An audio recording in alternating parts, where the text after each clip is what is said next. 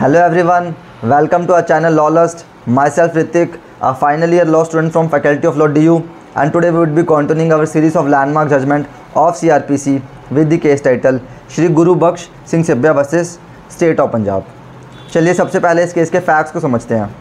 इस केस में जो अपेलेंट होता है, वो जो पंजाब गवर्नमेंट होती है, उसमें एक मिनिस्टर होता है। और ना, उनके और साथ साथ में बाकी कुछ लोगों के अगेंस्ट ना ग्रेव एलिगेशन लगे होते हैं किस चीज़ के? पॉलिटिकल करप्शन के और अनड्यू यूज़ ऑफ़ पावर के। तो कहीं ना कहीं उन्हें अप्रीहेंशन हो जाती है कि उन्हें अरेस्ट किया जाने वाला है। और इसीलिए वो पंजाब और हरियाणा हाई कोर्ट में एंटीसिपेटरी बेल के लिए अप्लाई करते हैं अंडर सेक्शन 438 ऑफ़ सीआरपीसी लेकिन हाई कोर्ट में उनकी बेल की एप्लीकेशन रिजेक्ट हो जाती है।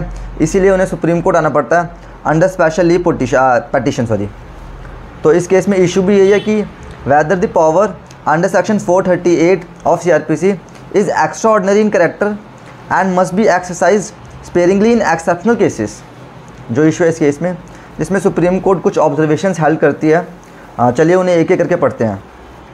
पहले तो इसमें कोर्ट बोलती है कि अगर कोई प्रोविज़न है जो इंडिविजुअल लिबर्टी की बात कर रहा है जैसे आर्टिकल 21 हो गया तो आ, उस केसेस में ना अगर कोई स्पेसिफिक प्रोविज़न नहीं है जो उसको कटेल कर, कटेल करने की बात कर रहा है तो इंडिविजुअल लिबर्टी को कहीं ना कहीं रिस्ट्रिक्ट नहीं किया जाना चाहिए। जैसे एंटीसिपेटरी बेल का एक प्रोविज़न है तो एंटीसिपेटरी बेल दी जानी चाहिए अनलेस कोई एक सब्सटैंशियल पॉइंट नहीं मिल रहा हो, जिसमें एंटीसिपेटरी बेल को रोकने का ग्राउंड हो।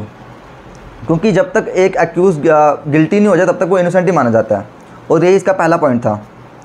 दूसरे पॉइंट में कोर्ट कहते कि ना, जो फाइलिंग ऑफ़ एफआईआर है ना, वो एक कंडीशन प्रेसिडेंट नहीं है, जब भी आप सेक्शन 438 में एंटीसिपेटरी बेल के लिए अप्लाई कर रहे हो।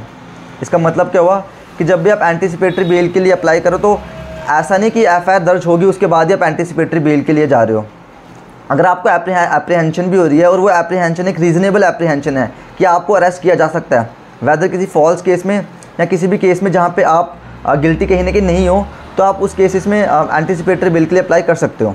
और ये फाइलिंग ऑफ़ एफआईआर ये एक प्रेसिडेंट नहीं है। प्रेसिडेंट कंडीशन नहीं है सॉरी इसमें थर्ड पॉइंट जो कोर्ट बोलते हैं कि ना, जब एंटीसिपेटरी बेल का मैटर आ रहा है ना हाई कोर्ट में तो हाई कोर्ट को ना अपना आप माइंड लगाना चाहिए इस केस में डिसाइड करने के लिए कि एंटीसिपेटरी बेल मिलनी चाहिए या नहीं। और जो मैजिस्ट्रेट का ऑर्डर है या जो लोअर कोर्ट्स का ऑर्डर है, सिर्फ़ उनके बेसिस पे डिसीज़न नहीं सुनाना चाहिए। यही तीन ऑब्जर्वेशन थी इस कोर्ट की। उसके बाद जो पंजाब और हरियाणा कोर्ट का जो डिसीज़न था, उसे सेट असाइड किया जाता है। और कहीं ना कहीं इसमें जो एंटीसिपेटरी बेल ग्रांट की जाती है। यही इस केस की मेन ऑब्जर्वेशन थी। और इसी तरह आप हमारी इस लैंडमार्क जजमेंट की सीरीज़ को सपोर्ट करने के लिए हमारे चैनल को फॉलो कर सकते हो। Thank you.